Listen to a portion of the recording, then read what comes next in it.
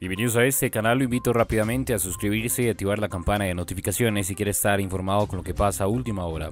A acusación directa de Rusia a Estados Unidos, el portavoz del Kremlin, Dmitry Peskov, expresó que la Casa Blanca está haciendo todo lo posible por continuar con este conflicto y calificó el papel de Estados Unidos como un chiste. No olvide dejar un comentario en este video y un me gusta también para apoyarnos. Muchísimas gracias. Rusia y Estados Unidos volvieron a ofrecer muestras de sus nulas e inexistentes relaciones bilaterales, así como de los continuos roces que traen ambos países a raíz de la invasión rusa en Ucrania y del apoyo militar suministrado por el país norteamericano a Kiev para que puedan batallar contra las tropas rusas.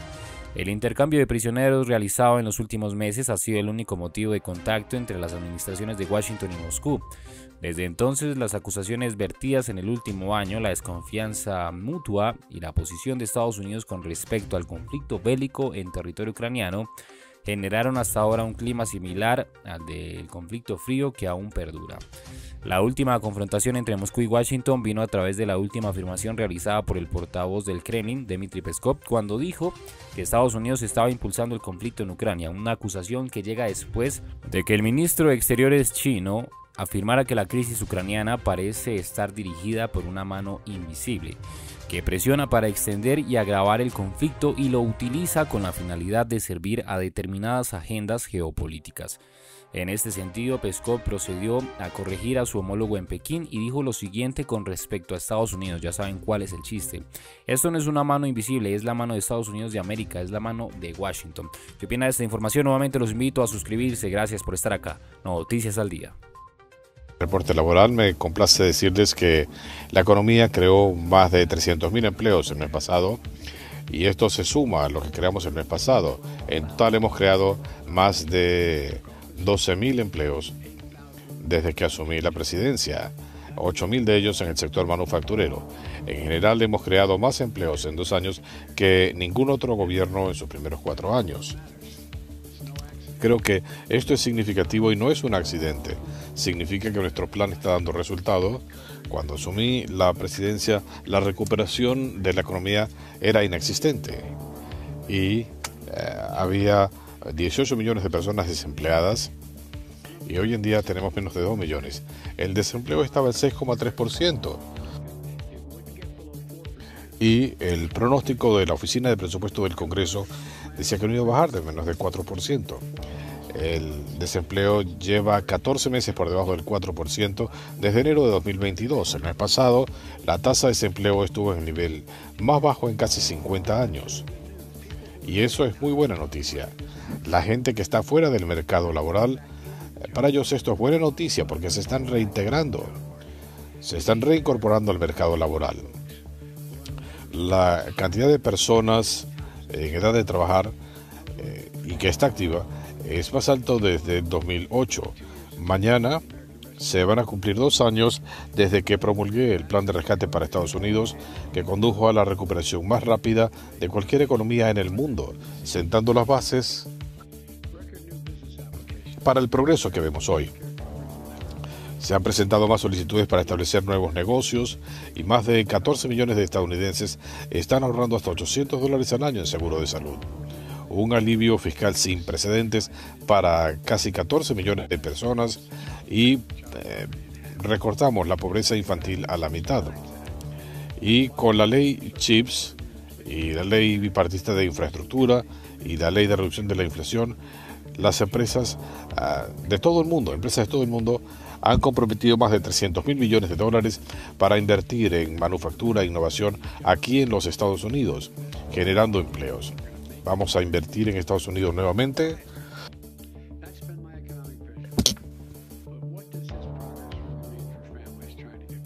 El gobierno federal va a estar comprando insumos estadounidenses. ¿Qué significa esto? Significa que más gente tendrá buenos empleos y tendrán la dignidad y seguridad que viene aparejada a tener un salario. La inflación está 30% más baja de donde estaba en el verano. El precio de la gasolina ha caído en un dólar cincuenta desde el punto más alto y se han incrementado los ingresos para los trabajadores a nivel bajo y medio. Sé que están cansados de escucharme hablar de ese respiro Pero eso es lo que es realmente. Es un respiro para las familias trabajadoras. Y las cifras de hoy son claras. La economía avanza en la dirección correcta. Ayer estuve en Filadelfia para presentar mi presupuesto para hablar del progreso que tenemos desarrollando la economía de abajo hacia arriba y del centro hacia afuera. Este es un plan que va a mantener las inversiones en manufactura en Estados Unidos, generando empleos que no requieren de un título universitario.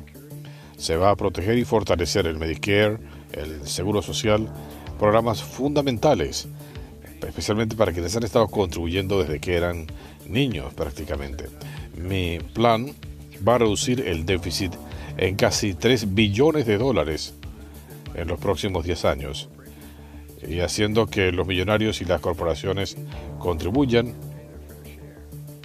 eh, y vayan pagando lo que corresponde. Cuando hablamos de una tasa impositiva de 28%, bueno, eso es lo que tenía Ronald Reagan. Bueno, la idea de que eso es algo que no es razonable, bueno, de eso hablaremos después. Se va a seguir reduciendo el costo para las familias. Ya hemos reducido el costo de la insulina y de otros medicamentos.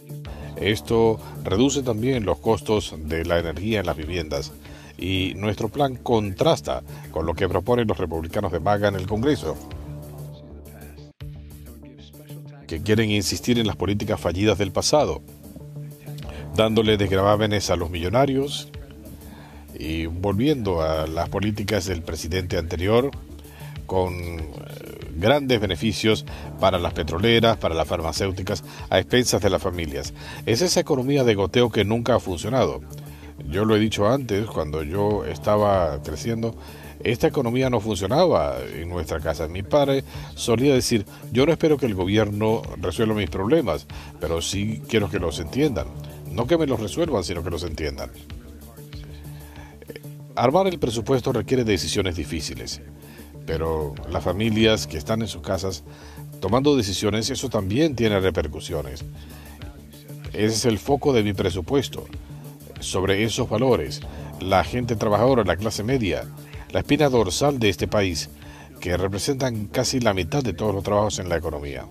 Las grandes corporaciones aportan mucho, pero los pequeños negocios son más de la mitad de la economía. Mi presupuesto refleja el impacto que esto tiene en los estadounidenses. Estas buenas noticias de hoy nos indican que gracias a nuestros esfuerzos, 12 millones de personas tienen empleos, más que un cheque, como hemos dicho, es dignidad, la dignidad de la familia.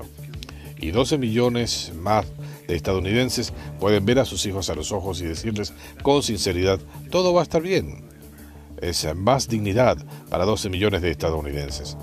La gente lo puede sentir, no son solo números.